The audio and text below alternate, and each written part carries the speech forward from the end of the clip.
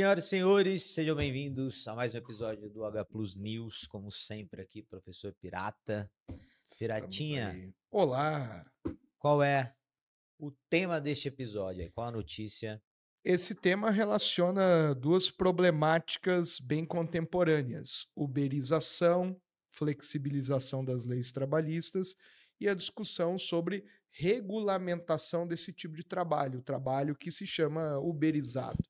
Os entregadores de aplicativos, motoristas de carro, mas principalmente ligado aí aos motoristas de aplicativo.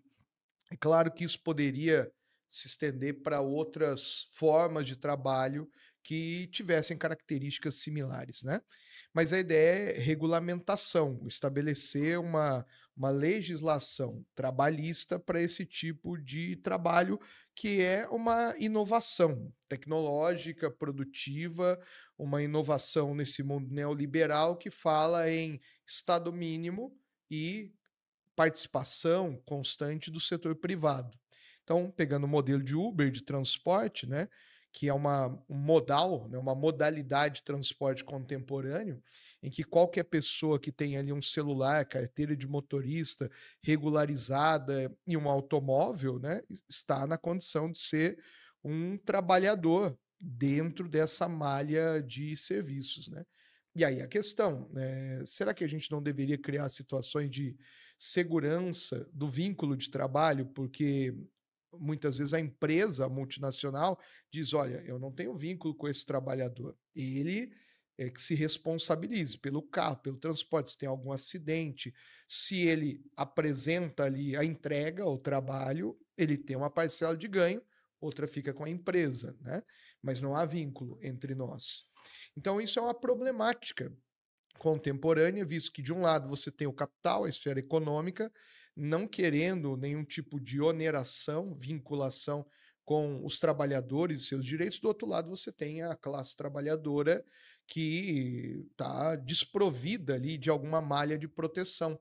Então, a discussão atual né, no cenário brasileiro é sobre uma proposta legislativa de estabelecimento desse vínculo, um salário mínimo, é, horários também que possam ser humanamente viáveis, que não venham a degradar a condição desses motoristas que muitas vezes podem se sobrecarregar. Acidente.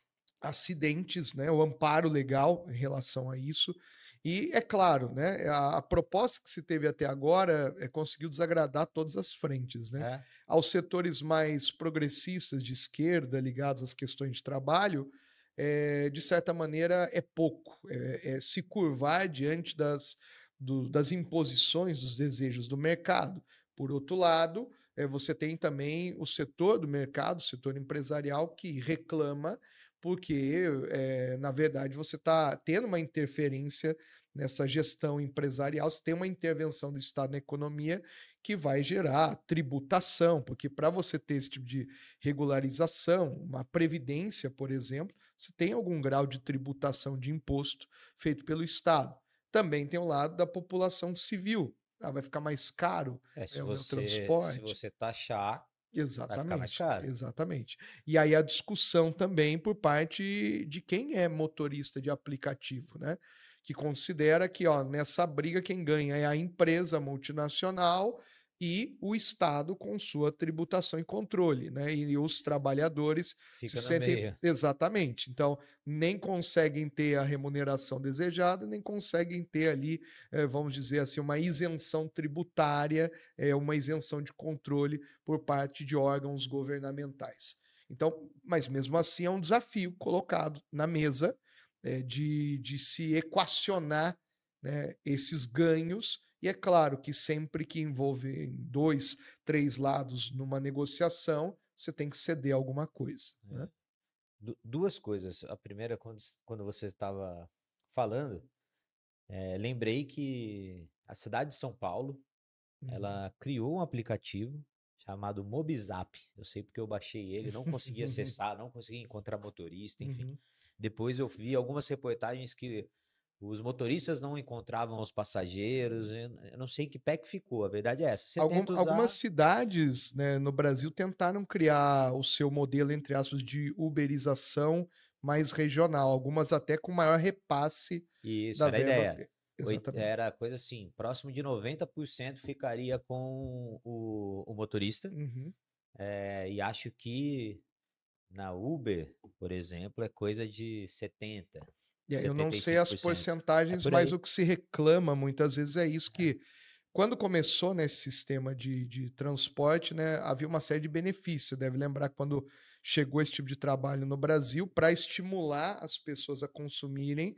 Você tinha lá refrigerante, água, bolachinha, biscoitinho, verdade. né? E, e carros assim totalmente ali muitas vezes espaçosos. E isso com o passar do tempo foi se degradando, né? É. Uma vez que o mercado se estabelece, ele não precisa mais ficar criando esses estímulos, exi- subterfúgios. Existe uma cidade em Minas Gerais que tem coisa de uns oito aplicativos de transporte, assim. Uhum, E para justamente. Melhorar isso, né? O repasse ser um pouco mais justo, enfim. Então, então nessa Sim. batalha eu vejo isso que você está falando muito em uma redação. Sim, em especial ligado à questão de direitos trabalhistas, Isso. porque nós vivemos desde o período Temer para cá um aumento né, no Congresso Nacional das discussões de flexibilização de direitos. Por um lado, quem defende chama de flexibilização, quem se coloca numa posição contrária vai chamar de destituição de direitos ou mesmo retirada de direitos trabalhistas.